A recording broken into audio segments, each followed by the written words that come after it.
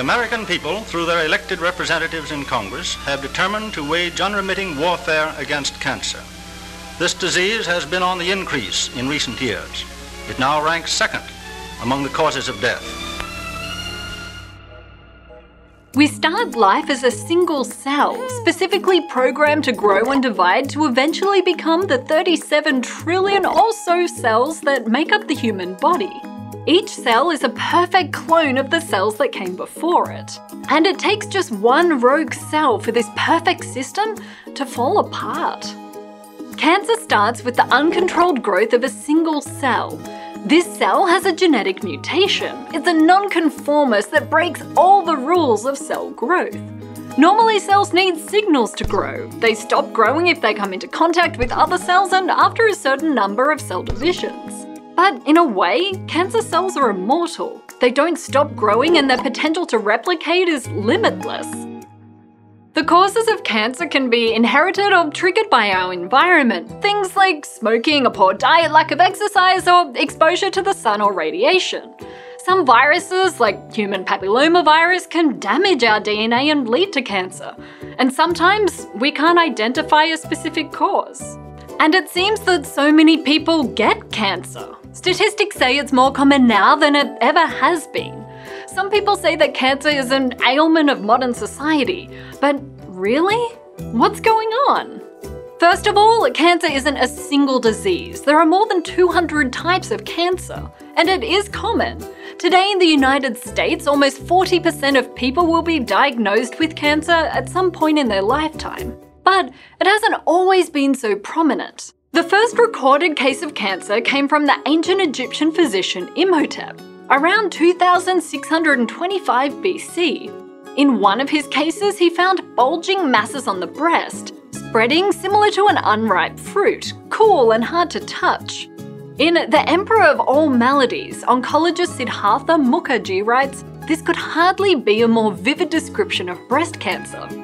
Abdominal cancer and other tumours have also been found in Egyptian mummies, and a large bone tumour that pierced the skin was found in the preserved body of a young woman of the Chiribaya tribe in the Atacama Desert. Up until a few hundred years ago, it was rare to find records of cancer. People had other concerns, you know, tuberculosis, the plague, smallpox, and influenza, to name a few. Cancer was around, but it was rare because people didn't live long enough to get it, and practitioners couldn't perfectly define it. But by 1900, cancer was the eighth most common cause of death in the United States. By 1950, life expectancy had increased by 21 years, and cancer was second, behind heart disease, as the leading cause of death, the same as it is today. In ancient times and up until recently, people simply didn't live long enough to get cancer. It's much more common in older people. Your risk of getting cancer increases with age. For example, men from 0 to 49 years old have a 1 in 304 chance of getting prostate cancer. By the time they hit 70 years old, that's a 1 in 9 chance. But through this increase in diagnoses, there's also a big increase in survival rates. In 2013, the American Cancer Society reported that death rates had fallen by 20% from their peak 20 years prior. For this, we can thank progress in education, screening, diagnosis, and treatment. Still, many cancers can be prevented. In 2010, almost 1.5 million of the 8 million cancer deaths around the world were caused by tobacco smoking. And more than 20% of cancer worldwide is related to people being overweight, obese, physically inactive, or having a poor diet. So, why do so many people get cancer? Well, it's a combination of increased life expectancy and our lifestyle factors. Worldwide smoking increased in the 20th century, and there's more cases of obesity than ever before. A 19th century surgeon once wrote Cancer is the emperor of all maladies, the king of terrors.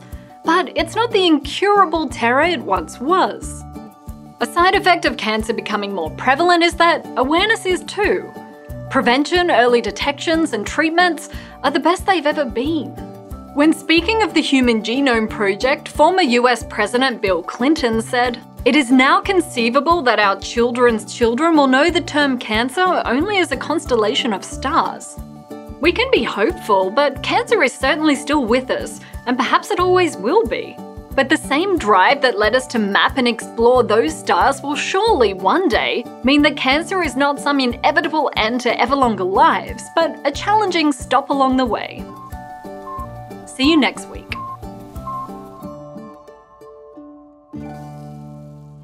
We must meet this disease with the resolution I choose to live and to help others to live.